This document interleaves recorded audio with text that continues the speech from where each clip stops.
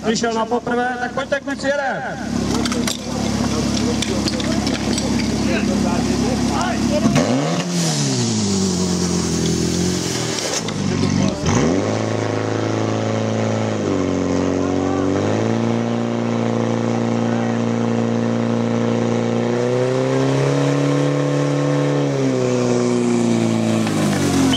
Domácí dosáhli času 22.18, ale